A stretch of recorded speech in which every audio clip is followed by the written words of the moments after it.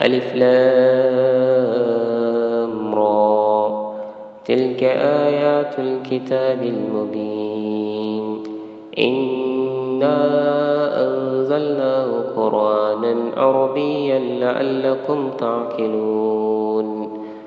نحن نقص عليك أحسن القصص بما أوحينا إليك هذا القرآن.